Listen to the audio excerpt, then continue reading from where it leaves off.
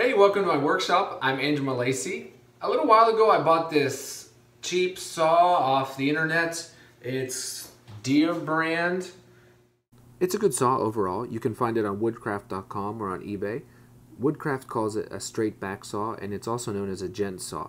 I got mine for about 20 bucks after shipping and as you can see here on the Woodcraft website it's about 18 bucks and you'll probably have to pay for the shipping too. It works fine, but I've never been that great at using them. Maybe I should practice more. But in any case, I thought, well, maybe I could turn it into something and maybe, who knows, maybe become something I really love to, to go to. It could be my go-to saw. So before I actually go out and buy a nice new high quality saw or something like that, I'm gonna try and convert this to a traditional, traditional style handle uh, for a dovetail saw. It's about 10 inches long, the, the saw plate is. It's got a nice stiff back on it. And I found some plans off Blackburn Tools website for free. I'll put the link in the description. Anyways, I'm gonna make a new handle for this and that's about it. I'll chop the back right there, chop the tang off of it basically, and I'll have to modify the saw plate by cutting it a little bit on the diagonal. But it's even in the plans, the way the saw plate has to be. So that's what I'm gonna do. Here's a fair warning, it's gonna be a lot of sped up video. So if you just wanna skip to the end result, just go ahead and jump to minute 15, 30 or so. I'll be making some comments along the way in the video, but basically what I did is I glued the plans on a really flat piece of hardwood, which is walnut, I marked out all the holes I had to drill. Then I tried to accurately transfer some of the smaller marks for the handle uh, screws to the back side and then just made sure I drilled really straight holes, rough cut it out on the bandsaw and refined it by hand with a file and chisel, etc. It took me a lot of time to actually hang it really accurately, but in the end, it turned out really well. And I'm not going to lie, I actually sort of hung on to it and couldn't put it down for the whole rest of the day after it was finished. I definitely recommend you try this if you have an old saw that you're not using and you're willing to cut up and uh, modify a little bit. It really doesn't cost you anything because if you end up not liking the handle, you can use it if it's usable or just try it again. In my case, I bought this gent saw because I thought it would help me do better dovetails but I just didn't like it, and so it sat there for about a year and a half without being used. Now I can honestly see myself using it, I want to use it, and I feel extremely proud of it. So, I hope you enjoyed the video, and I'll see you at the end.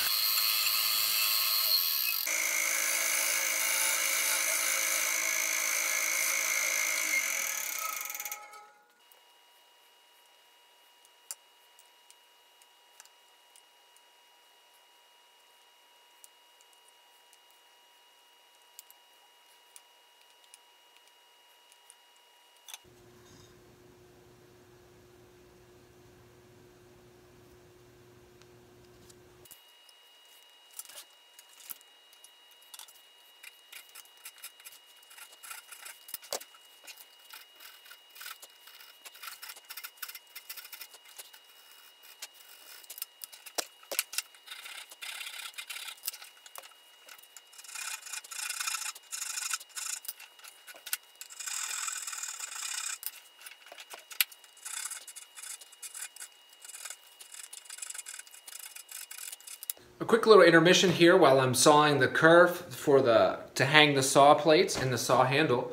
As you just saw there, I cut the basic shape of the saw. I we have a saw handle that more or less that's more or less functional at this point. But we want to cut the kerf so that uh, for the saw plate now before we invest too much time in it. If you go and watch the episode of the Woodwright Shop that I've linked in the description here, you'll see that they recommend the same thing on that episode too, because we don't want to spend hours and hours making the saw handle look beautiful and then we end up hanging it crooked or wrong or break it. So we're gonna, we have very minimal investment in it right now, 30 minutes or so. And uh, now we're gonna cut the kerf to hang the saw plates. And then once that's perfect and we verified everything looks good, then we're gonna go ahead and shape the handle and make it look good. Make sense?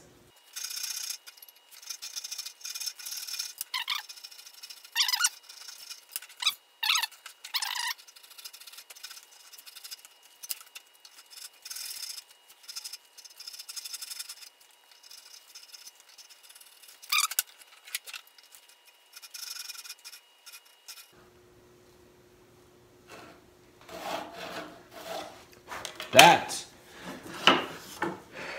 Look at that. That's nice.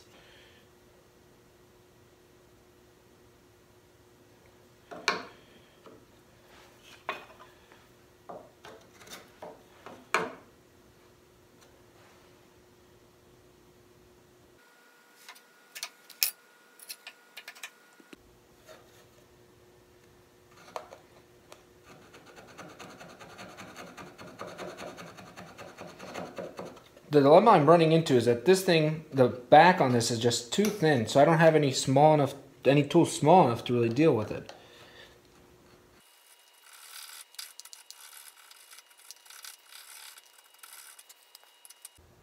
All right, once we hang the saw on the handle, we're gonna transfer the holes. You gotta make sure you got an even, you gotta make sure it's straight and you gotta make sure you got an even reveal here at the top. Are you satisfied? Look down it. See what you think. I'm good with that. So we're going to transfer the holes by taking a nail or something and just popping it in there, making some marks, and then we're going to go ahead with drilling through the saw plate and then boring out the holes a little bit more.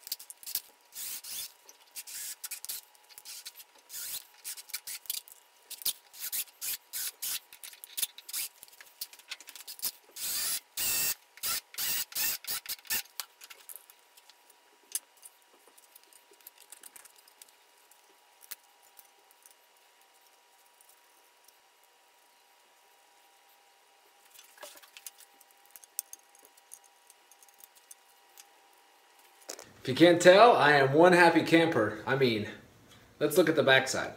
That is sick. I can't even take it. I'm gonna tighten up a little bit more here and uh, then we're gonna give it a test cut, see how it cuts.